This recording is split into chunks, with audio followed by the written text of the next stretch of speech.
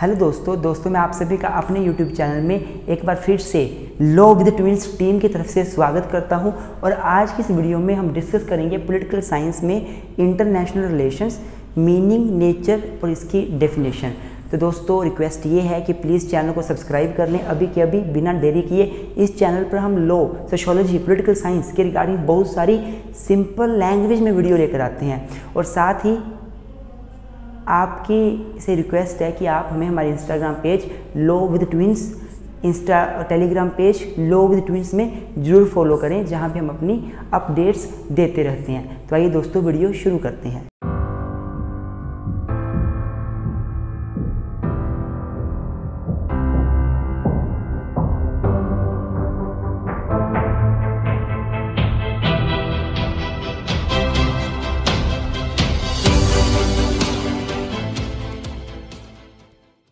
तो मेरे दोस्तों सबसे पहले इंट्रोडक्शन के साथ टॉपिक को शुरू करते हैं तो अगर मैं इस टॉपिक को इंट्रोड्यूस करने की बात करूं तो आप अपनी कॉपीज़ में अपने आंसर में क्या लिखोगे कि the today's era is era of internationalism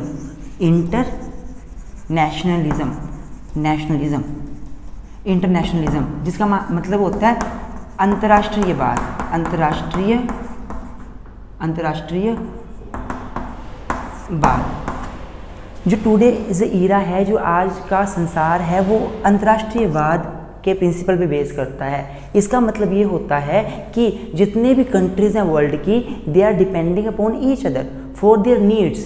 no one country in the world is self sufficient self sufficient कोई भी कंट्री वर्ल्ड में ऐसी नहीं है जो सेल्फ सफिशियंट है अपने आप में उसके पास सारी चीज़ें हैं ऐसी कोई भी कंट्री नहीं है मेरे दोस्तों कोई भी ऐसा नेशन नहीं होगा जिसके पास अपने नेचुरल रिसोर्सेज भी होंगे मैन पावर भी होगी हर चीज़ होगी कोई भी ऐसा नेशन नहीं है इस वर्ल्ड में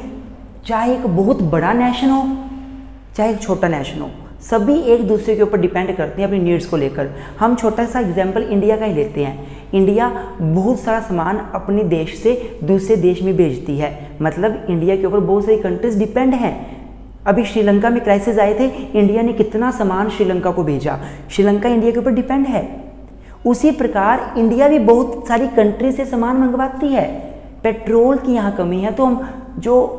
हमारी गल्फ कंट्रीज़ हैं वहाँ से पेट्रोल मंगवाते हैं तो कोई भी नेशन ले लो America Russia Afghanistan Pakistan UK USA कोई भी नेशन ले लो they are they all are depending upon each other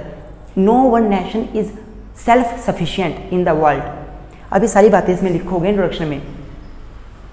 मेरे दोस्तों हमारे जो पोलिटिकल साइंस के फादर हैं एरिस्टोटल इन्होंने एक बार एक बात बोली थी कि man is a social animal man is a social animal what is it mean कि मानव एक सामाजिक प्राणी है इसका मतलब ये हुआ कि जो मैन है जो मैन है वो सोसाइटी से अलग नहीं रह सकता आइसोलेशन में नहीं रह सकता the same principle is applicable on the states also states means nation countries the countries can also be not live in separately countries required to make relations with the other nation for their development for their for their better for the betterment क्या बोला मैंने आपको जैसे एक इंसान अकेला society में नहीं सर्वाइव कर सकता तो कंट्रीज भी अकेली नहीं रह सकती अर्थात अकेले नहीं रह सकती इसका मतलब क्या है कि every country has to make relations with the other country every nation has to make relations with the other nation and this leads to the relation among the nation this is called the international relations so what is international relations it is the relation which does exist among the various countries of the world among the various countries of the world तो आपने सारी बातें इसमें introduction में लिखनी है अब tension लेनी है आपने जैसे जैसे आगे बढ़ेंगे कंसेप्ट क्लियर होता जाएगा अब हम जानेंगे छोटी सी हिस्ट्री अब हम पहले हिस्ट्री जानेंगे उसके बाद मीनिंग पे आएंगे छोटी सी history of this international relation कहाँ से कंसेप्ट शुरू हुआ तो मेरे दोस्तों अब मैं अगर इंटरनेशनल रिलेशंस की ओरिजिन की बात करूं तो there is no exact data that we can say कि कहाँ से इंटरनेशनल रिलेशन शुरू हुए लेकिन अगर हम हिस्ट्री में जाते हैं तो हमें पता चलता है कि the history of international relations can be traced from the treaty of Westphalia एक ट्रिटी हुई थी वेस्ट फेलिया 1648 से फोर्टी एट में इस ट्रिटी में ये ट्रिटी जर्मनी में बेसिकली हुई थी जर्मनी में ये वेस्ट फेलिया जगह पड़ती है तो जर्मनी में जब ये ट्रिटी हुई तो इस ट्रिटी के बाद इंटरनेशनल रिलेशन जो थे वो कंसेप्ट निकल के सामने आया था इस ट्रीटी के बाद बेसिकली जो यूरोपियन कंट्रीज थी यूरोपियन कंट्रीज थी वो आपस में आपस में बातचीत करने लगी डायलॉग करने लगी through the ambassadors and through the diplomats इसी के बाद ये इंटरनेशनल रिलेशंस का जो चीज़ थी वो निकल के सामने है कि हाँ भाई दो कंट्रीज़ आपस में रिलेशन बनाए तो वो इंटरनेशनल रिलेशन है मेरे बच्चों आपको बता दूँ यहाँ पे ये जो जर्मी बैंथम थे Jeremy Bentham he was the first scholar who use the term international law and international relation in the history जो वर्ड था basically international relations international law वो सब सबसे पहले जर्मी जर्मी बैंथम ने यूज़ किया था जर्मी बैंथम ने अबाउट सेवनटीन एट्टी के अराउंड इसको यूज़ किया था मैं क्या बोलना चाहता हूँ कि हिस्ट्री कहाँ से शुरू हुई इंटरनेशनल रिलेशंस की एग्जैक्टली exactly तो बोल नहीं सकते लेकिन बेस्ट फालिया जो है ट्रिटी हुई थी इसके बाद कंट्रीज़ आपस में बातचीत करने लगी थी आपस में मिलने लगी थी जब कंट्रीज़ मिलने लगी मतलब वो अपने रिलेशन बनाने लगी तो इंटरनेशनल रिलेशन अच्छे से वर्ड यूज़ नहीं हुआ पर यहाँ से पता चल गया कि कंट्रीज़ आपस में रिलेशन बना रही हैं उसी प्रकार जर्मी बैंथम फर्स्ट पर्सन था जिसने इंटरनेशनल रिलेशन और इंटरनेशनल लॉ टर्म पहली बार यूज़ करी थी और my dear friends after the second world war जब दूसरा वर्ल्ड वार हुआ उन्नीस से लेकर उन्नीस चौतालीस पैंतालीस तक उसके बाद तो this international relation concept has been developed to a large extent उसके बाद तो ये कंसेप्ट बहुत बड़ा हो गया बहुत ज़्यादा फैलने लगा जब सेकेंड वर्ल्ड वार हुआ तो बहुत ज़्यादा जो थे लोग मारे गए बहुत ज़्यादा नुकसान हुआ हिरोशिमा नागासाकी आप सभी को पता है जापान की क्या हालत हो गई थी तो हुआ क्या बहुत सारी कंट्रीज आपस में इकट्ठी आई उन्होंने यूएनओ बनाया यूनाइटेड नेशन ऑर्गेनाइजेशन और उन्होंने क्या किया कि हम आपस में रिलेशंस बनाएंगे आपस में बातचीत कर कर हम हर मुद्दे को सॉल्व करेंगे और कभी भी अब तीसरा वर्ल्ड वार हम लेकर नहीं आएंगे तीसरा वर्ल्ड वार होने की हम कोई पॉसिबिलिटी नहीं रखेंगे यहीं से फिर इंटरनेशनल रिलेशन कंसेप्ट काफ़ी डेवलप हो गया आई होप आपको समझ आ रहा होगा वीडियो अच्छी लग रही हो तो लाइक ज़रूर कर दें मेरे दोस्तों अगर आपको हमारी वीडियोज़ हेल्पफुल होती हैं तो आप हमारे Google Pay number PhonePe number Paytm number पे आप हमें कंट्रीब्यूट कर सकते हैं हमारा Google Pay PhonePe Paytm number eight two one nine eight two zero four six one है आप इससे इसमें हमें कंट्रीब्यूट कर सकते हैं जो मैं पढ़ा रहा हूँ इसके नोट्स प्रॉपर बने हुए हैं नोट्स पेड होंगे अगर नोट्स चाहिए होंगे तो आप हमारे WhatsApp number nine eight one six four nine double two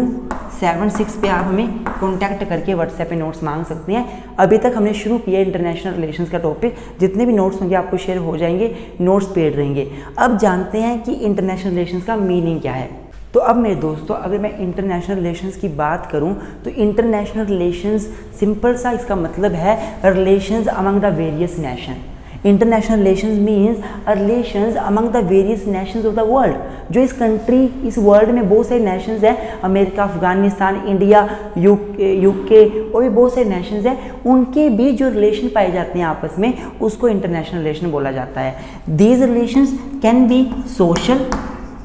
can be political on these relation can be economic also can be economic So international relations are those relations which does exist among the various nations of the world, either on social matters, political matters, or on economic matters, or on any matter, if they are interlinking with each other, if they are talking with each other, if they are signing the various treaties, it means the international relations are existing among the nation of the world उसके बाद आप लिखोगे not only among the nations what international does exist among the non state actors among the international organization among the international various international organization like I M F W H O W T O W T O तो जितने भी international level के organisation हैं उनका जो बाकी country के साथ रिलेशनशिप होता है आपस में बातचीत होती है डायलॉग होता है वो सारे क्या हैं इंटरनेशनल रिलेशन हैं तो वेरियस कंट्रीज के लोगों के बीच जो रिलेशन पाए वेरियस कंट्रीज के बीच जो रिलेशन पाए जाते हैं उसी को इंटरनेशनल रिलेशन बोला जाता है इसकी कुछ एक डेफिनेशंस देख लेते हैं तो मेरे दोस्तों डिफरेंट डिफरेंट स्कॉलर्स ने डिफरेंट तरीके से इंटरनेशनल रिलेशन को परिभाषित किया है डिफाइंड किया है सबसे पहले Goldstein and Pevehouse Goldstein and Pevehouse ने इसने गोल्ड स्टेन ने एक बुक लिखी थी जिसका नाम था international relation Goldstein wrote a book with the name International Relations. International Relations. तो इस बुक में इन्होंने क्या बोला कि the field of international relations the field of international relations concern with the relationship among the world government जो world की governments होती है उनके बीच जो रिलेशन पाया जाता है this is international relation what the Goldstein and Pevehouse in his book Goldstein basically in his book international relation said that international relation means relation which international relation means relation exist among the various governments of the world this is the international relation वहीं पे professor Charles शीचर मैं spelling बता देता हूँ S C H E I C H E R S C H E I C H E R were the professor Charles सीचर let me check once yes तो इन्होंने क्या बोला था आपने स्पेलिंग ठीक लिखनी है S C H E I C H E R इन्होंने क्या बोला international relation are the relation among nations बिल्कुल सिंपल डेफिनेशन दी कि international relations are the relations among nations उसके बाद professor Hans Morgenthau Morgenthau M O R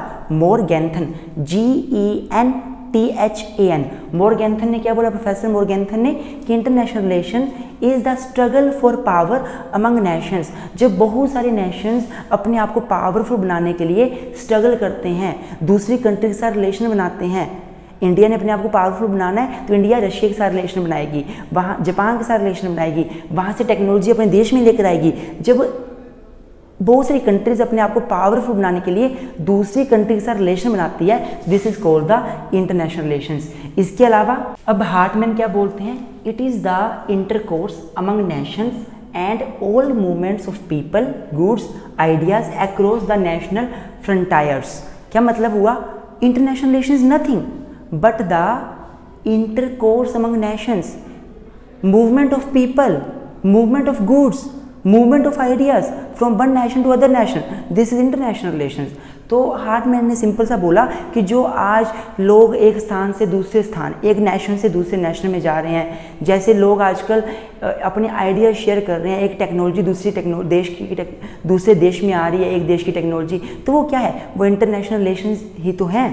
उसके बाद according to Palmer and Perkins Palmer and Perkins क्या बोलते हैं international politics is all essentially concern with state system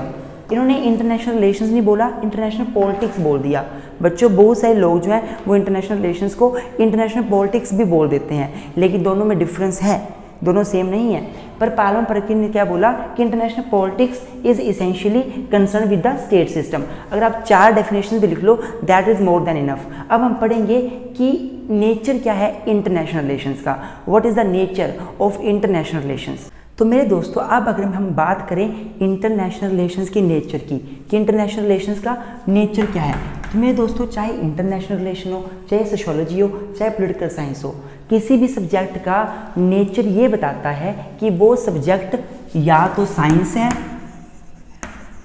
या तो वो साइंस नहीं है साइंस नहीं है नॉट अ साइंस साइंस नहीं है और कुछ लोग ये बोलते हैं कि वो सब्जेक्ट क्या है आर्ट है क्या है आर्ट है तो इंटरनेशनल रिलेशन के नेचर की बात करूँ इंटरनेशनल रिलेशन बच्चों यहाँ पे आपने सब्जेक्ट समझना है यहाँ पे सब्जेक्ट की बात कर रहा हूँ मैं यहाँ पे मैं एक डिसप्लिन एक ब्रांच की बात कर रहा हूँ डिसिप्लिन की बात कर रहा हूँ पोलिटिकल साइंस की जो ब्रांच है इंटरनेशनल रिलेशंस जो सब्जेक्ट है आपको इस बार सिलेबस में उसका नेचर क्या हम ये पढ़ रहे हैं तो जैसे सोशोलॉजी सब्जेक्ट का नेचर पढ़ा जैसे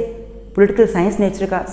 नेचर पढ़ा वैसे इंटरनेशनल रिलेशन का नेचर हमें ये बताता है कि क्या ये साइंस है या ये आर्ट है या ये साइंस नहीं है तीनों चीज़ों को अच्छे से पढ़ेंगे और फाइनली फिर कंक्लूजन पे आएंगे कि कंक्लूजन में आप क्या बोल सकते हो तो वीडियो को पूरा लास्ट तक देखना तभी आपको समझ आएगा तो आइए दोस्तों शुरू करते हैं सबसे पहले कि ये साइंस क्यों है और कौन स्कॉलर है जो इसको साइंस मानते हैं और साइंस क्यों मानते हैं फिर जानेंगे ये साइंस क्यों नहीं है और कौन से स्कॉलर इसको साइंस नहीं मानते हैं और क्यों नहीं मानते हैं और फिर समझेंगे ये आर्ट क्यों है क्यों लोग इसको आर्ट बोलते हैं कला बोलते हैं तो आइए दोस्तों शुरू करते हैं it is not a science it मतलब इंटरनेशनल रिलेशन एक सब्जेक्ट तो मेरे दोस्तों अगर मैं बात करूँ इंटरनेशनल रिलेशंस की एज ए साइंस तो बहुत सारे स्कॉलर्स पॉलिटिकल थिंकर ये मानते हैं कि जो इंटरनेशनल रिलेशन सब्जेक्ट है वो एक साइंटिफिक सब्जेक्ट है एक साइंस है इसमें सबसे फेमस नाम प्रोफेसर ऑर्गेन ऑर्गेनस्की का है professor Organski professor Organski Rome और इटली के प्रोफेसर हैं जिन्होंने साफ साफ बोल दिया था कि इंटरनेशनल रिलेशन एक साइंटिफिक सब्जेक्ट सब्जेक्ट है और एक साइंस है तो मेरे दोस्तों सबसे पहले जानते हैं कि साइंस होती क्या है what is the meaning of science science की करैक्टरिस्टिक्स पढ़ेंगे फिर देखेंगे कि जो साइंस की करैक्टरिस्टिक्स हैं क्या वो इंटरनेशनल रिलेशन में फिट बैठती हैं अगर बैठेंगी तो हम बोलेंगे इसको साइंस है तो क्या बोला गया कि साइंस का मतलब क्या होता है बेसिकली पहले कि science means a systematic way of gathering and organising knowledge जब हम सिस्टेमेटिक मैनर में step by step proper system से जब हम नॉलेज को गैदर करते हैं तो उसको साइंस बोला जाता है that is a scientific method when we gather the knowledge systematically this is science therefore science has the some feature like universality science universal होती है अर्थात हर जगह एप्लीकेबल होगी जो कंक्लूजन साइंस ने निकाल दिया वो हर जगह एप्लीकेबल होगा इसमें एक और इसकी फीचर होती है एग्जैक्टनेस जो भी रिजल्ट आते हैं बिल्कुल एग्जैक्ट आते हैं प्रिडिक्शन साइंस में हम प्रिडिक्ट कर सकते हैं कि फ्यूचर में क्या होगा हम साइंस में प्रिडिक्ट कर सकते हैं कि क्या हो सकता है आगे फ्यूचर में क्या होगा अभी जो हमारे पास डाटा है उस डाटा के बेस पर हम फ्यूचर की परिकल्पना कर सकते हैं साइंस में साइंस इज प्रिसाइज साइंस बिल्कुल एक्यूरेट होती है प्रिसाइज होती है एंड साइंस में एक लेबोरेटरी होती है तो मेरे दोस्तों बहुत से स्कॉलर ये मानते हैं कि ये सारी चीज़ें इंटरनेशनल रिलेशन में पाई जाती है सबसे पहले इंटरनेशनल रिलेशन भी एक यूनिवर्सल सब्जेक्ट है इंटरनेशनल रिलेशन केवल ऐसी चीज़ नहीं है कि जो एक या दो नेशंस के बीच पाई जाती है this international relation does exist among every nation of the world हर एक नेशन वर्ल्ड का छोटे से छोटा बड़े से बड़ा वो इंटरनेशनल रिलेशंस बनाता है और वो सारे के सारे रिलेशंस पॉलिटिकल साइंस के इंटरनेशनल रिलेशन के सब्जेक्ट में स्टडी किए जाते हैं चाहे कोई भी कंट्री का रिलेशन हो हम इस पोलिटिकल साइंस के सब्जेक्ट में इस ब्रांच में this is a branch basically political science is a branch of social science political science तो जो इंटरनेशनल रिलेशन है उसमें हम हर देश के इंटरनेशनल रिलेशन को पढ़ते हैं तो international relation universal in nature हैं दूसरा सिस्टमैटिक मैनर तो इंटरनेशनल रिलेशन का जो सब्जेक्ट है उसको सिस्टमैटिक मैनर में पढ़ा जाता है ऐसा नहीं है जैसे साइंस को हम स्टेप बाय स्टेप पढ़ते हैं वैसे इंटरनेशनल रिलेशन को भी हम सिस्टमेटिक मैनर में पढ़ेंगे पहले हम इंटरनेशनल रिलेशन पढ़ेंगे उसका मीनिंग पढ़ेंगे डेफिनेशन पढ़ेंगे उसका हम जानेंगे कि बेसिक कंसेप्ट क्या होता है फिर हम उसकी जो वेरियस वेरियस स्कोप है in national power national interest हम हर चीज़ों को सिस्टमेटिक मैनर से पढ़ते हैं तो इंटरनेशनल रिलेशन को क्या माना गया है इस सब्जेक्ट को भी एक सिस्टमेटिक मैनर से काम करने वाला सब्जेक्ट है इसलिए इसको साइंस माना गया है एक्सपेरी experiments are possible international relation में भी आप एक्सपेरिमेंट कर सकते हो जैसे साइंस में H two plus O is equal to H two O आप एक्सपेरिमेंट कर सकते हो वैसे इंटरनेशनल रिलेशन में भी एक्सपेरिमेंट पॉसिबल है लेकिन यहाँ पे एक्सपेरिमेंट कैसे कर सकते हो यहाँ पे एक्सपेरिमेंट सोसाइटी में नेशंस के बिहेवियर के ऊपर कर सकते हो अगर एक नेशन ने दूसरे नेशन के साथ कुछ गलत किया उसका पानी रोक दिया या उसको ट्रेड नहीं ट्रेड पे ज़्यादा टैक्स लगा दिया या सामान उसको दिया नहीं अपने देश का जो सामान है वो उस तक नहीं पहुंचाया तो इससे हम एक्सपेरिमेंट कर सकते हैं कि अगर एक देश ऐसा करे तो उसका रिएक्शन क्या होगा दूसरा देश भी वैसा करेगा हम एक एक्सपेरिमेंट्स कर सकते हैं ह्यूमन नेचर के एक्सपेरिमेंट्स कर सकते हैं तो स्कॉलर्स ये मानते हैं कि एक्सपेरिमेंट का मतलब ये नहीं होता कि हम लैब में एक्सपेरिमेंट्स कर सकते हैं हम इस सोसाइटी में भी एक्सपेरिमेंट कर सकते हैं इसलिए इंटरनेशनल रिलेशन भी एक साइंटिफिक सब्जेक्ट है then predictions are possible prediction international relation में पॉसिबल होती हैं फॉर एग्ज़ाम्पल मान लो एक कंट्री इंडिया है और एक कंट्री पाकिस्तान है अगर आज पाकिस्तान इंडिया के ऊपर अटैक करता है तो हम प्रडिक्ट कर लेंगे कि इंडिया अटैक करेगा और रिलेशंस ख़राब होंगे दोनों के अगर इंडिया ने पाकिस्तान के ऊपर अटैक किया इंडिया जीत गया और वहाँ से हमें पता होगा अमेरिका अब पक्का पाकिस्तान की सपोर्ट में आएगा अमेरिका पाकिस्तान की सपोर्ट में आया तो हमें पता है अब यू यूएसएसआर रशिया इंडिया का साथ देना शुरू कर देगा तो बोलने का मतलब क्या है कि प्रिडिक्शन कि आगे क्या होगा फ्यूचर में हम प्रेजेंट डाटा के ऊपर इंटरनेशनल रिलेशंस में भी प्रडिक्शन कर सकते हैं जैसे साइंस में प्रडिक्शन कर सकते हैं ना कि अभी आगे फ्यूचर में क्या होगा तो हम इंटरनेशनल रिलेशंस में प्रडिक्शन कर सकते हैं देन यूनिवर्स इज लेबोरेटरी हमने पढ़ा कि साइंस में एक लेबोरेटरी होती है जहाँ पे एक्सपेरिमेंट्स होते हैं तो इंटरनेशनल रिलेशंस में लेबोरेटरी क्या है ये पूरा यूनिवर्स ये पूरा संसार हम पूरे संसार के ऊपर एक्सपेरिमेंट कर सकते हैं हम पूरे संसार को देखकर प्रोडिक्शंस कर सकते हैं हम पूरे संसार में इंटरनेशनल रिलेशन के सब्जेक्ट को एप्लीकेबल कर सकते हैं इसलिए स्कॉलर्स इसको साइंस मानते हैं लेकिन बहुत सारे साइंस है बहुत सारे स्कॉलर्स हैं जो इसको साइंस नहीं मानते अब जानते हैं हम कि क्या बोलते हैं वो स्कॉलर जो इसको साइंस नहीं मानते अब मेरे दोस्तों अगर मैं इंटरनेशनल रिलेशंस की बात करूं that it is not a science this is the second point जब पेपर आएगा तो आपने जैसे मैंने डायग्राम बनाया बताया आपको आपने नेचर लिखना है बीच में एक पॉइंट लिखना है it is a science second it is not a science then it is it is an art then it is a social science आपने चार पॉइंट्स बनाने हैं तो एक पॉइंट तो हमने कर लिया कि ये साइंस है और स्कॉलर्स क्या बोलते हैं अब हम कर रहे हैं it is not a science तो कुछ स्कॉलर्स मानते हैं ये साइंस नहीं है इसमें सबसे फेमस नाम अमेरिका के स्कॉलर का है जिसका नाम है Quincy Wright Q U I N C Y Quincy Wright W R I G H T Quincy Wright बोलते हैं कि इंटरनेशनल रिलेशन किसी भी प्रकार से साइंटिफिक सब्जेक्ट हो ही नहीं सकता इनका क्या मानना है कि जैसे फिजिकल साइंस में जैसे साइंटिफिक सब्जेक्ट में हम सिस्टमेटिक मैनर में नॉलेज गेन करते हैं इंटरनेशनल रिलेशन ऐसा सब्जेक्ट नहीं है जिसको सिस्टेमेटिक वे में स्टडी करें हम कुछ भी स्टडी कर सकते हैं इंटरनेशनल रिलेशन में हम नेशनल ट्रस्ट पहले पढ़ें या हम आ, हम किसी कंट्रीज़ के वार के बारे में पढ़ ले पढ़ें ये कॉमन कंसेप्ट है कुछ भी स्टडी किया जा सकता है कोई सिस्टम नहीं है स्टडी का इंटरनेशनल रिलेशन को इसलिए international relation is not a scientific subject second results are not uniform और यूनिवर्सल जो भी इंटरनेशनल रिलेशन में रिजल्ट आते हैं जो हम लोग सोचते हैं वो कभी भी यूनिफॉर्म नहीं होते कभी भी यूनिवर्सल नहीं होते जितने भी पोलिटिकल थिंकर हैं वो जो भी ओपिनियन देते हैं ओपिनियन सभी के डिफरेंट होते हैं सेम नहीं होते साइंस में ऐसा नहीं होता H two plus O is equal to H two O this would be applicable for every person हर एक पर्सन यही बोलेगा जी यही होता है पर पॉलिटिकल साइंस के इंटरनेशनल रिलेशंस में ऐसा नहीं होता इंटरनेशनल रिलेशंस में कभी भी सेम ओपिनियन किसी का नहीं, होता सभी का अपना अपना ओपिनियन होता है और इसके रिजल्ट्स कभी भी यूनिफॉर्म नहीं होते experiments are not possible science में लेबोरेटरी होती है वहाँ आप एक्सपेरिमेंट कर सकते हो इंटरनेशनल रिलेशन में कोई लेबोरेटरी नहीं है जो हम लोग बोलते हैं कि यह यूनिवर्सल लेबोरेटरी है it is a myth it is a myth ये जस्ट एक मिथ है बच्चों मेरी बात ध्यान सुनना एक सब्सक्राइबर ने क्वेश्चन किया था सर आपने जो नेचर बताया उसमें साइंस में आपने साइंस के पॉइंट बता दिए आपने नोट साइंस में नोट के पॉइंट बता दिए तो ये तो गलत बात है ऐसा नहीं होता ये जो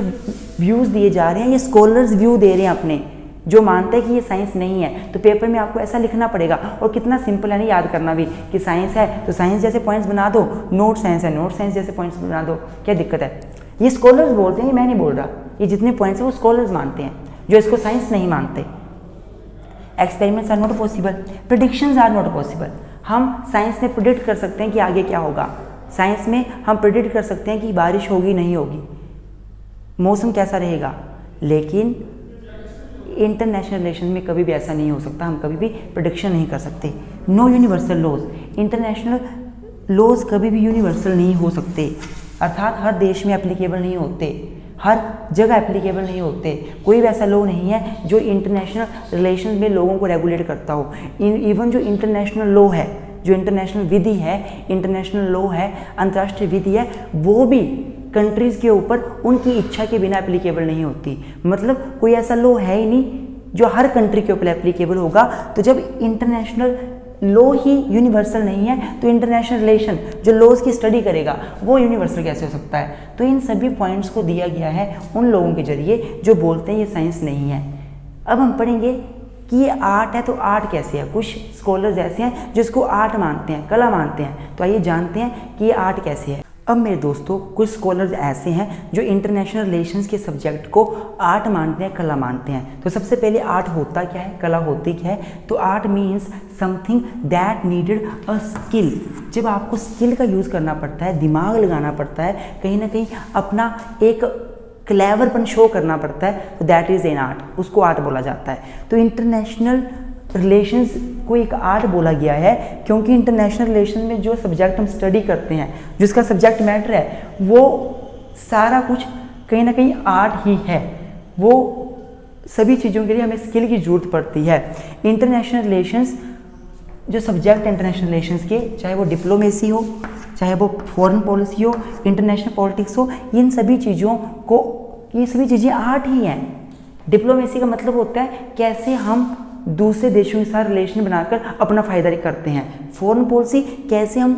पॉलिसी बनाएंगे फॉरेन कंट्री के साथ रिलेशन बनाने की जिसमें हमारा अपना फ़ायदा होगा इंटरनेशनल पॉलिटिक्स इंटरनेशनल लेवल की पॉलिटिक्स तो इन सभी चीज़ों में कहीं ना कहीं कला का यूज़ होता है स्किल का यूज़ होता है दिमाग का यूज़ होता है और ये सभी चीज़ें कहीं ना कहीं आर्ट हैं जब ये चीज़ें आर्ट हैं तो मतलब इंटरनेशनल रिलेशन का सब्जेक्ट ही आर्ट है सब्जेक्ट का मतलब कि जो इंटरनेशनल रिलेशन में आप चीज़ें पढ़ोगे ये सारा आपका सिलेबस में होगा ये सारी चीज़ें आपकी है ना तो आपका सब्जेक्ट में है ना इंटरनेशनल रिलेशन के सब्जेक्ट में तो जब इंटरनेशनल रिलेशन के सब्जेक्ट में ये आपको सारे टॉपिक्स दिए गए हैं तो इन सभी सभी के लिए हमें आर्ट की जरूरत पड़ती है कला की स्किल की नॉलेज की जरूरत पड़ती है इसलिए लोग इसको क्या मान लेते हैं आर्ट भी मान लेते हैं अब मेरे दोस्तों फाइनली आप लिखोगे कंक्लूजन जिसमें आप लिखोगे it is a social science आप लिखोगे कि इंटरनेशनल रिलेशंस हमने पढ़ लिया as after doing all the study ये सब कुछ पढ़ने के बाद we may conclude